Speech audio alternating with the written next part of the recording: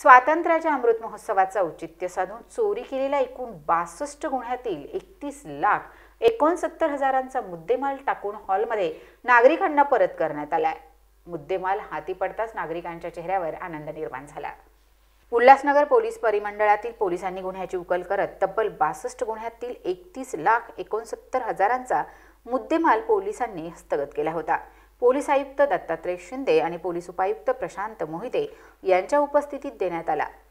परिमंडळ चारमधील वेगवेगळ्या क्षेत्रांमधून चोरी गेलेल्या दागिने घरफोडी दुकानफोडी मुद्देमाल चोरी अशा अनेक गुन्ह्यांचा छडा लावत मुद्देमाल नागरिकांना परत करण्यात आल्याची माहिती पोलीस उपायुक्त प्रशांत मोहिते यांनी दिली आहे.